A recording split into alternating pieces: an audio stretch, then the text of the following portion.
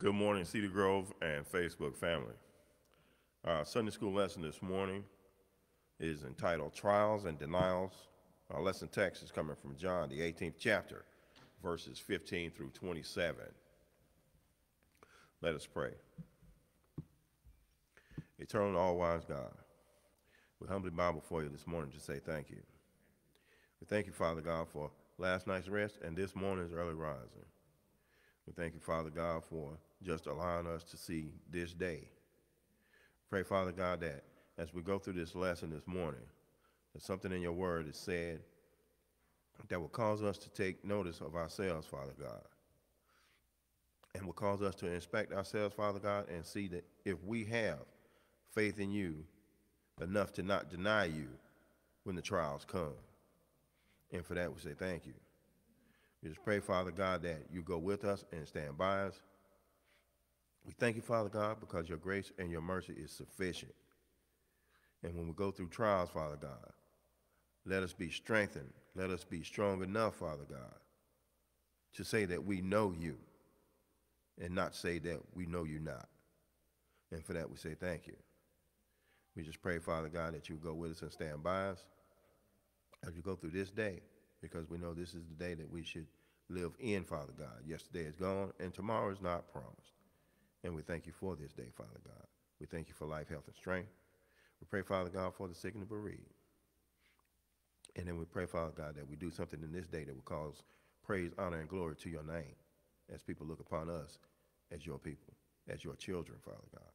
This is our prayer in Jesus' name. Amen. Again, our lesson John chapter 18, verses 15 through 27. The title is Trials and Denials. Beginning at John 18, verse 15. And Simon Peter followed Jesus, and so did another disciple. That disciple was known unto the high priest, and went in with Jesus into the palace of the high priest. This lesson picks up from last week's lesson where Jesus was arrested. He has now been taken to the palace of the high priest. After being bound, Jesus is led from the Garden of Gethsemane by the soldiers and the servants of the high priest. Another disciple, known by the high priest, went along with them to the palace of the high priest, but Peter followed afar off or at a distance behind them. Verse 16 Peter stood at the door without then went out that other disciple, which was known unto the high priest, and spake unto her that kept the door, and brought Peter in. When the group held Jesus arrived at the palace, they entered in the gate of the courtyard, along with the unnamed disciple, but Peter stood outside the gate and was only allowed in after the unnamed disciple had spoken unto the, the female or the damsel, as it's written in the lesson, that was guarding the gate uh, I put out the side is, it's always good to know somebody on the inside. Verse 17. Then said the damsel that kept the door unto Peter, Art not thou also one of this man's disciples? He saith, I am not. And that's that's as we would say, strike one. Because when the damsel or the guard asked Peter if he was one of the disciples, Peter said, No, I'm, I'm not one of them. Now, we're talking about Peter. We're talking about I'm drawing my sword out and cutting your ear off, Peter. Peter was supposed to be a bold person. Peter was one of the people with that fire in him that when the fight started, Peter was Peter was with it, as we would say. Peter, Peter was going to be a fighter. But now, and we're gonna get we're gonna get to it, faced with a question because Jesus is arrested.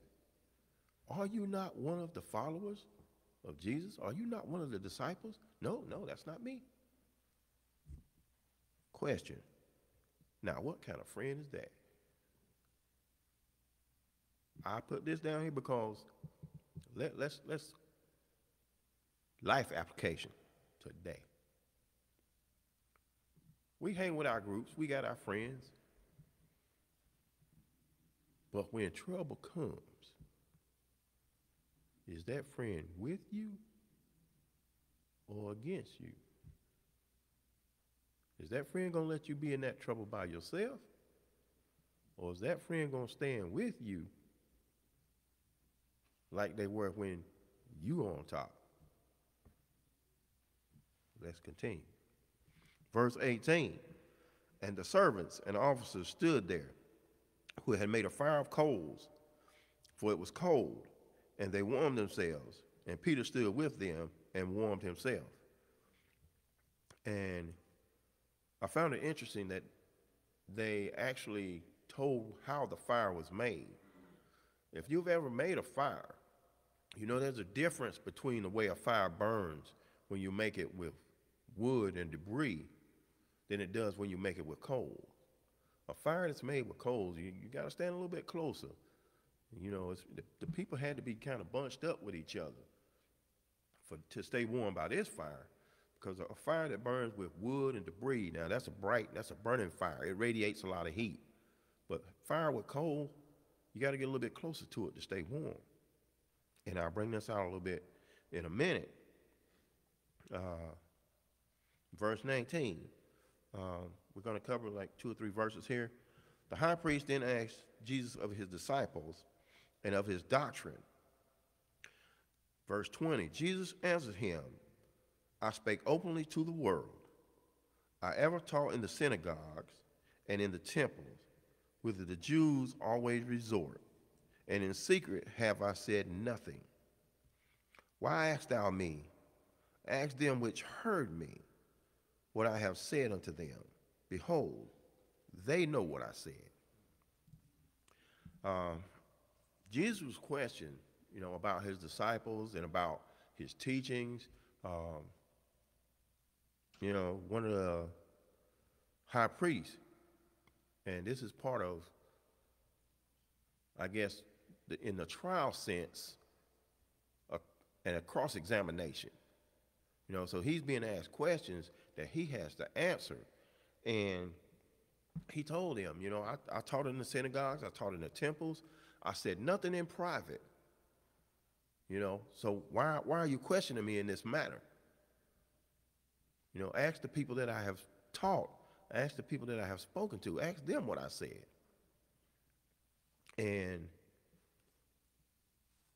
it's pretty much, they're trying to catch him up and, and you know, want to discredit him, uh, prove that he's not who he says he is, or to make it appear that the accusations they're bringing against him are true.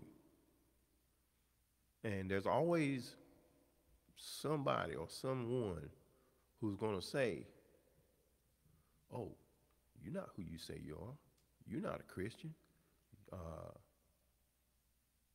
how you gonna say you this? How you gonna say you that? And you acting like this? Well, Jesus was perfect. We are not we strive for the perfection that Jesus had. We're not going to be perfect in everything we do. Yeah, somebody's going to say you're not a Christian. Somebody's to say you're not this, you're not that. You don't really have to prove it to them. Let the Christ that's in you prove it to them. God will verify you. And Jesus was telling them, you know, Whatever you're questioning me about, all you have to do is ask those that I've already spoken to. They know. And they know the truth, which is pretty much what he was trying to tell them. Uh, in verse 19, the high priest, you know, asked about his disciples, his doctrine. Um, they feared Jesus. And these questions, you know, tell me about your disciples. Uh, how many of them do you have? uh, where are they from, where are they located. They wanted to know what type of opposition they would come up against once they had arrested Jesus, once they had captured Jesus, uh, the fear of most people who fight against God or protest against God is really who he has fighting with him. Because we can't fight for God. Fight God fights for us. We can only fight with him. He helps us win our battles. We don't help him win his. He's God by himself. He can win any battle. Let us move on. Verse 21, uh, verse 22. And when he had thus spoken, one of the officers which stood by struck Jesus with the palm of his hand, saying, Answerest thou the high priest so? Jesus answered him, verse 23, If I have spoken evil, bear witness of the evil, but if well, why spitest thou me? Or why are you striking me? After Jesus responded to the high priest, an officer of the high priest standing near Jesus struck him. The background reading says that he slapped Jesus with, a, and when it said it struck him with the palm of his hand, he, he hit him with an open hand. And asked him, Why are you speaking in this manner to the high priest? Why are you answering him like this? Uh, in a sense, you would think that the officer would seem angered or irritated by that. And Jesus' response to him was, if I've said something wrong, then prove that I said something wrong. But if only thing I've done is good, or if I've done well or spoken well, then why are you striking me? Why are you angry by what I've said? If nothing I've said was wrong, then why are you upset?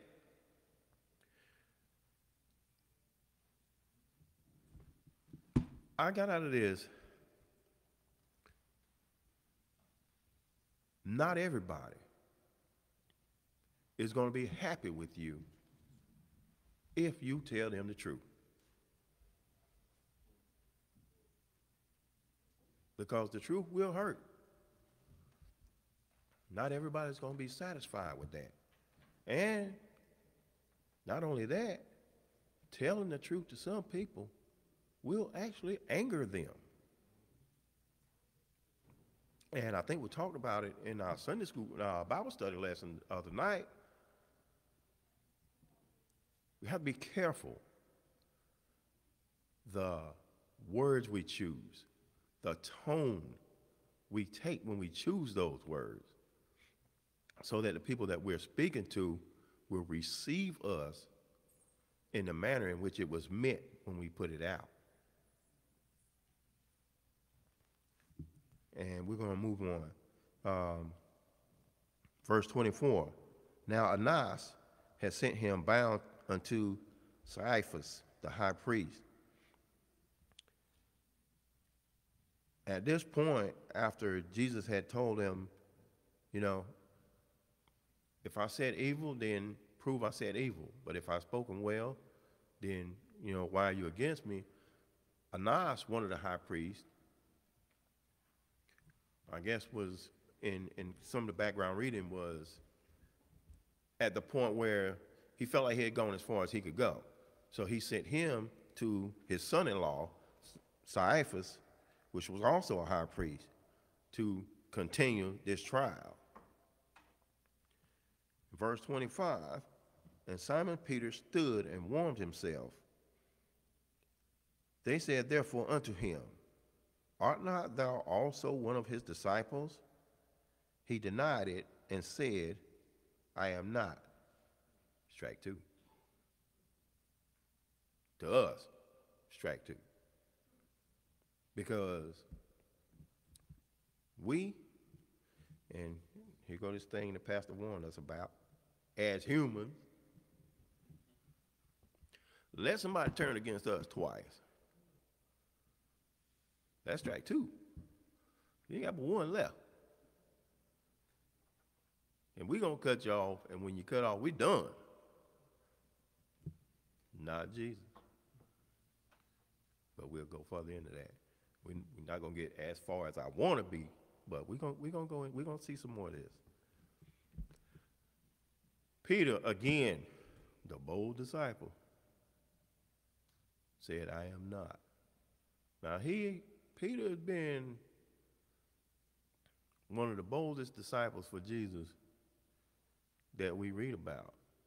He was, he was a fighter. He, he was, a, uh, he, yeah, he, he used a sword. He, he, Peter was probably, let's, let's just say, in a bold sense, if Jesus had told the disciples, now speaking in our terms these days, boys, let's rumble. Peter was number two.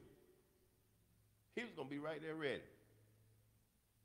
If anybody was more ready to go for Jesus, it would have been Peter.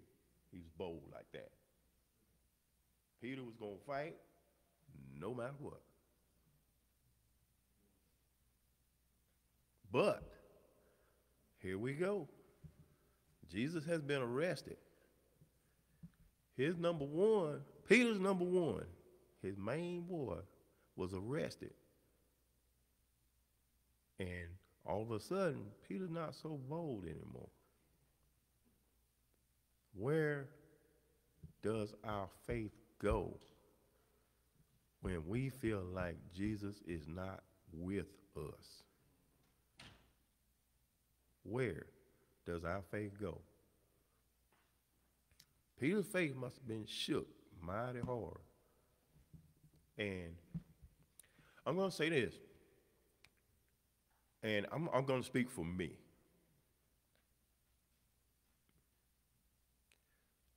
I can be the boldest,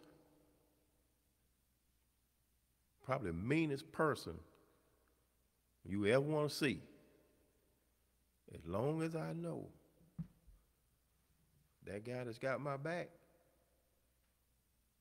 can't be beat. But when it looks like he done lost all his power, I might ease over here and sit down somewhere. Because I ain't got nobody at my back no more. Peter's experiencing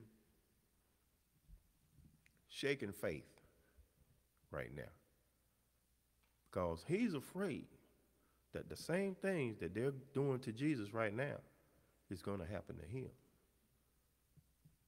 Now, how many of us have experienced that shaken faith? We felt like we called on Jesus. Like we dialed him up. Hello, Jesus, this, this, this is me. I, I, I need some help. I, I got your voicemail, but you need to call me back you right now. And you don't get that call back. You didn't get it back today. You didn't get you don't get it back tomorrow. You're starting to dwindle a little bit. Peter dwindled. He already denied Jesus twice.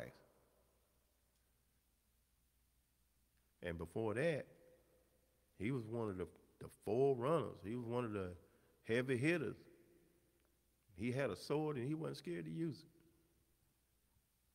But now,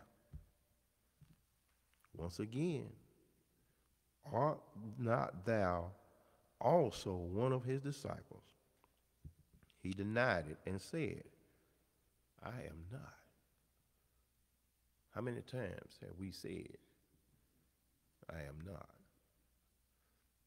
Not just by word, but by action and by deed. How many times have we said, I am not? You don't have to say to somebody, I'm not a child of God. You don't have to say it. Some of your actions will show whose side you're on. Ain't that, ain't that what you say, Brother Johnson? Whose side you're on? Your words and your actions, your deeds will say whose side you're on.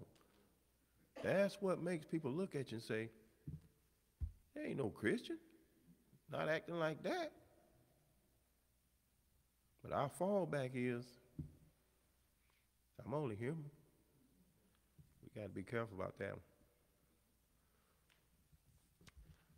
We're going to finish up 26, 27. One of the servants of the high priest, being his kinsman, whose ear Peter cut off, said, Did not I see thee in the garden with him? Peter, Peter then denied again, and immediately the cock crew. Uh, prophecy fulfilled.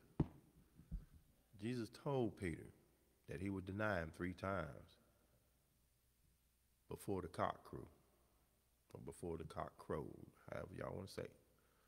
I'm using what I'm reading. And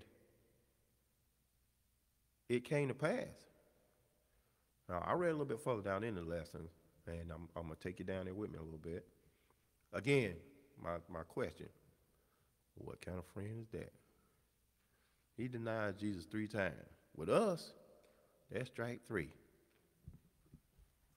I'm done with you. shaking you off. I got to shake you off and I got to move on.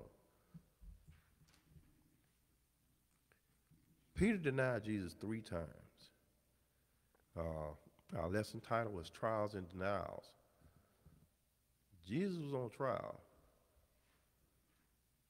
Peter was the one denied. It would seem that as Jesus went through these trials, Peter was also going through a type of trial. This was trying of him to see if his faith was strong enough to stand up for Jesus even under dire circumstance. Now, we read throughout the Bible, many people, let's go with the three guys in the fiery furnace. At their trial, they said, if God say so, we'll be consumed in the fiery furnace. But if not, we'll live. They stood up for Jesus. They didn't deny. But Peter denied Jesus. To me, at a time when Jesus really needed for him to stand up. So, how many times are we going to be called on to stand up for Jesus and deny the call that we hear? And don't say you don't hear it, because here, here goes our thing. I'm closing this thing.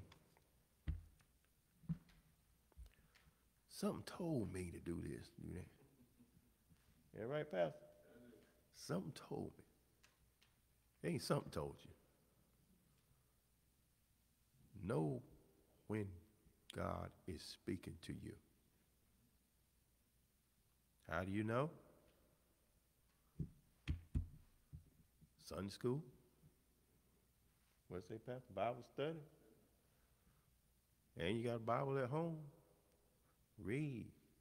The word says, study to show yourself approved. You'll know when God is speaking to you because he will give you that spirit to understand that when something told you, it's God speaking to you through the spirit. Don't be a denier like Peter was. Don't be one of those that says, I am not one of God's children. Because there's going to come a day when we all have to stand before the throne.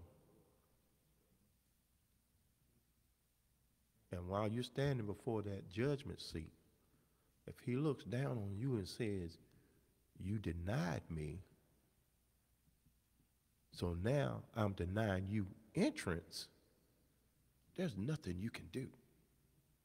Nothing you can do. It's too late.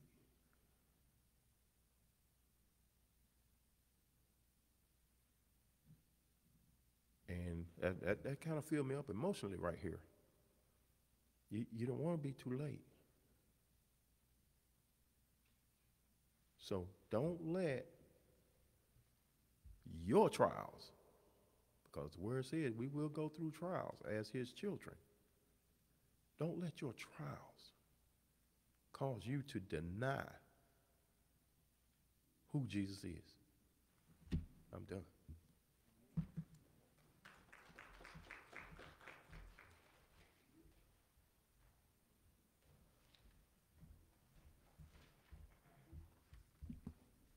Good morning, Cedar Grove.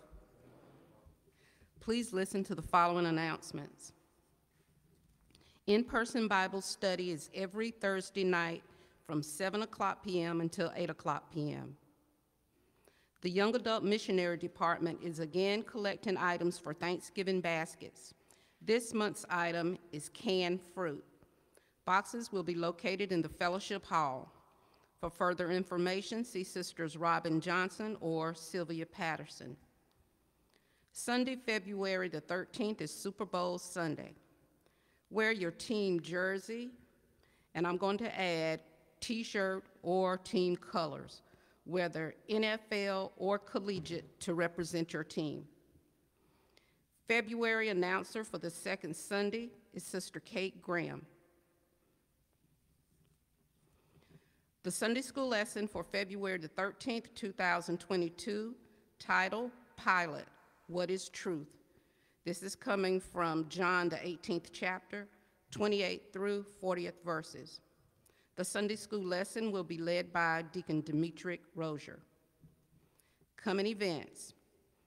In recognition of Alpha Phi Alpha Fraternity Incorporated's 115th anniversary, seven $15,000 scholarships will be awarded to juniors and seniors at an HBCU, which is a historically black college or university. The deadline to apply is February the 28th, which is coming up real soon, 2022. Go to tmcf, all caps, dot org for details. Please remember our sick, shut in, and those requesting prayer. Please join us for morning worship service today at 11 o'clock a.m. here in person or via Facebook Live. And now, please join us for a moment in Black history presented by Sisters Christiana Harris and Robin Johnson.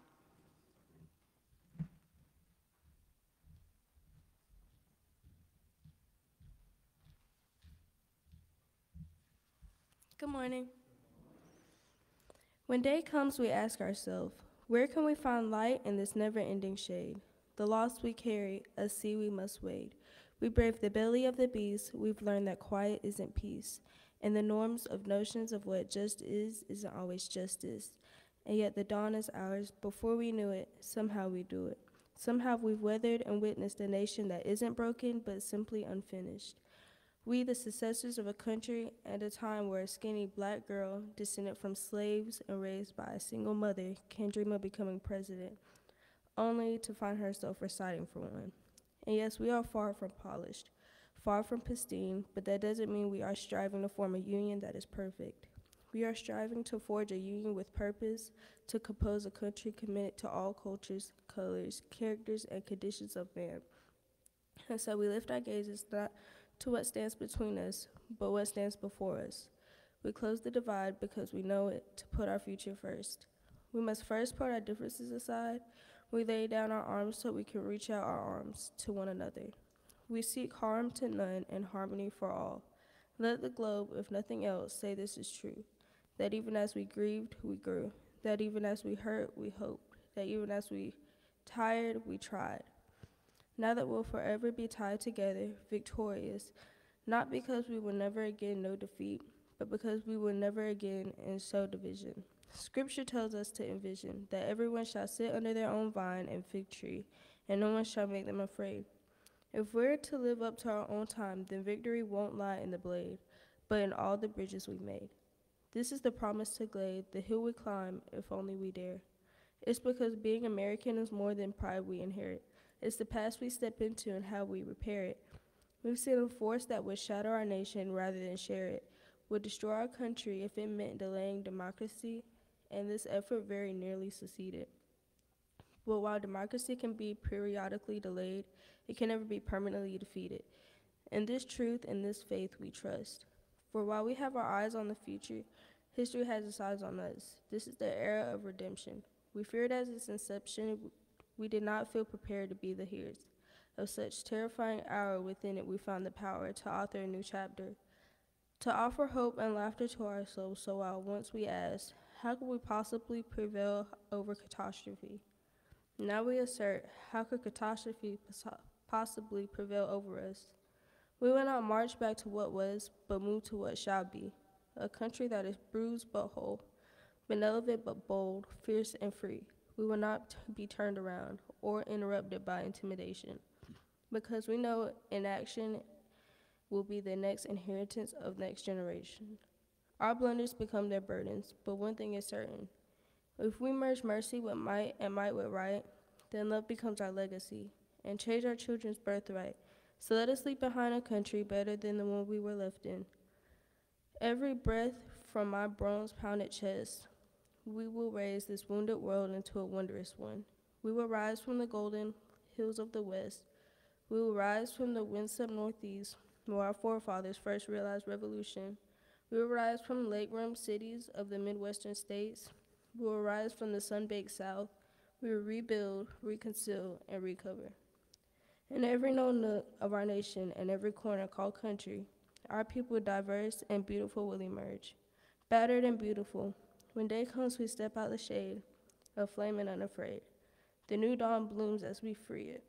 For there is always light if only we're brave enough to see it, if only we're brave enough to be it. Thank you.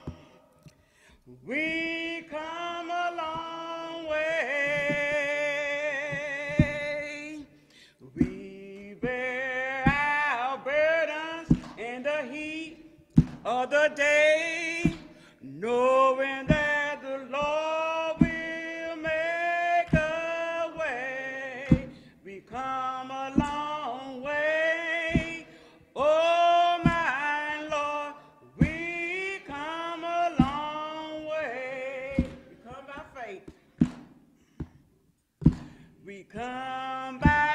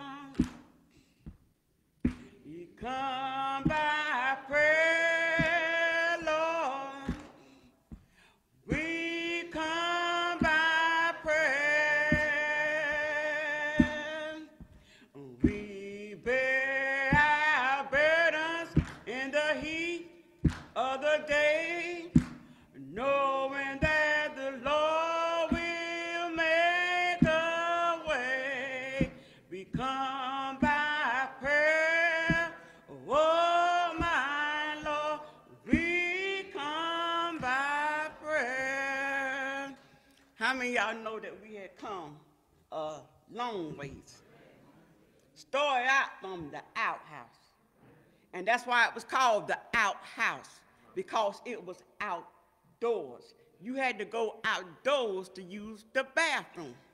And my mother and father made sure that outhouse was clean, this as good as the in-house. But now we got, uh, what we call commode, John, whatever. That's all you got to do is flush it. Some got the automatic flush. And some even so fancy, you know, when you get through it, it sprinkle you down there. Become a mighty long ways. Then we got this thing. uh, Mama said when they was coming to church, she had to walk to church. And she said she know when they heard that first bell ring, they had to start running. But they wouldn't be late when that second bell ring. Now we got our Lincolns, Cadillac, GMC, wherever, wherever. We come Toyota, Nissan, become a long, a long ways. Then we had to pump our water. It was called the pump. And you better make sure you kept that priming water beside that pump. You had to put it in that hole, and you had to first start fast. Now, first it, start catching. Then you get tight, tight, tight, tight. And no matter what time of day you got that war, that war always came out cool. Cool. Now we got indoor. So you select what kind of war you want. You want hot, a cold, lukewarm. We come a long, a long ways. Then there was a day that called Hell Day. Seemed like it was the coldest day in the winter. But I know my mother and my Aunt B always got together. And before we got Aunt B house, Uncle DJ would already had them saw them hoes cut and saw and hanging. Then we had to get them wash pots, them wash pots together. Make sure you had your wood, and that was my job to keep that fire around that wood. And you had to make sure you didn't get too close to that fire. But you know, then we made our sauces. We made our pudding. We made our south meat. And we eat them things that you would call chitlins. We did all that. But now we can go to the grocery store and we can decide what we want hot, mild, spicy. Back in them days, it was only one, and you ate as it was. And this is my very last thing here the diaper. One size, when I was coming up, one size fit all. You had to learn how to fold that diaper, but one size fit all. And our us was, was 15 to 18 months apart. Never said me and Renee. So I had the pleasure of help washing her diapers. And we, you know, my mom and them got a little thing. You had to wash them diapers. First, you put them into the outside washing machine. And then she want them hang pretty on that clothesline. You do not hang my mama clothes in kind way on that clothesline. But look at us now. We got the washer, the dryer, Delcy, heavy load, light load. We come a long ways. Leaning independent on Jesus. We came a mighty, mighty long ways. Thank you.